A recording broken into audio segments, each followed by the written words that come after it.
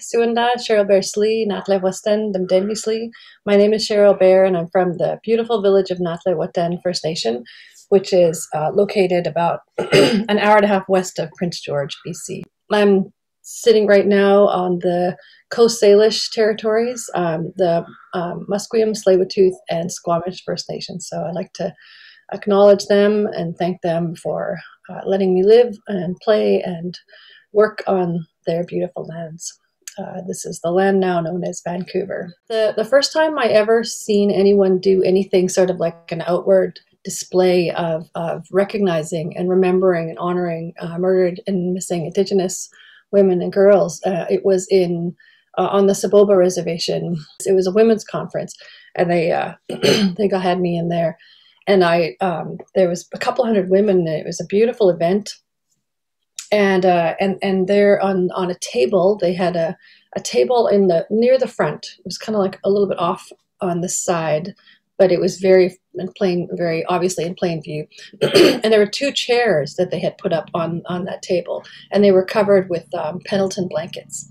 And um, and I've since seen that done at powwows where they're they're going to remember someone who passed away, and you know, uh, recently and uh, but I I hadn't seen this in like a women's conference, and so someone explained that they said as soon as they said this represents uh, our um, the loved ones that we have, the murdered and missing. As soon as they said that, my heart just like I just I just felt it in my body, and I and I just started crying because of remembering uh, the ones that that that I know that I've lost, and uh, and how uh, my first um, experience was when I was um, 15.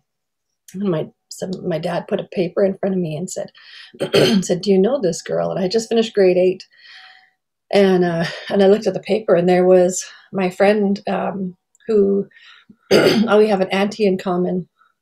And I looked at her and I, at the, her face on the paper, and I was so shocked. And as a 15 year old girl, that um, and and she was um, she was strangled with the cord of her own hoodie. And uh, and that was that was so brutal. I remember just feeling like stepping out of myself you know and just that that terror. And so uh, from that day on every time I, I bought a hoodie i would cut off that the hoodie and i'd pull it out. And i did that with my son's hoodies when they were born. And finally one time i think one of them was 13 and i went to go and do that. And my son said no mom this is you know, I want this. And that's when I realized, oh my gosh, that's, and I just, now I have two hoodies in my, in my closet and, and they have still the strings on them. And that's, and now I'm 52 years old and that's, that's how long it's taken for me to sort of, and, but I still have that story within me, you know, and, and, and so when I saw those chairs, that's what I saw. I saw Nina, Nina Joseph. And then when I was 18, I lost my cousin Kim. She was stolen from us. And and uh, and murdered and and those those things never leave you. And i was working as a pastor on the downtown east side at the time and so there was there was a girl who got baptized in our church and she ended up being found on the on the Pickton farm.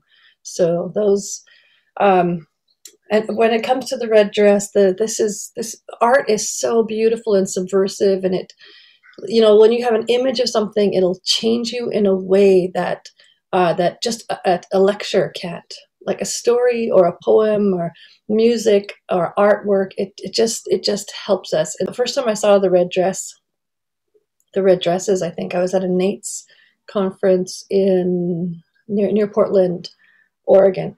And uh, i think it's george fox seminary. And um, they had them up all in the in the in the area. You would go between the buildings and I and I and some of them were like you know blowing in the in a breeze and and it just um, it was so powerful to me and I felt like I just wanted to thank so much the person who who created this who who thought of this to commemorate to remember but also just this stark reminder of these are missing people these are real people these are our loved ones our beloveds that are gone and taken from us. So I'm so grateful for this, for the Red Dress campaign.